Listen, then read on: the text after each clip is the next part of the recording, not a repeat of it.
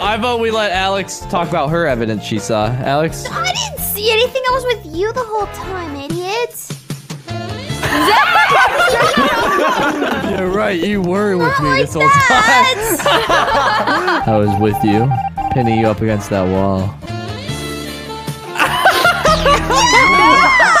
Alex, we're alone in this room.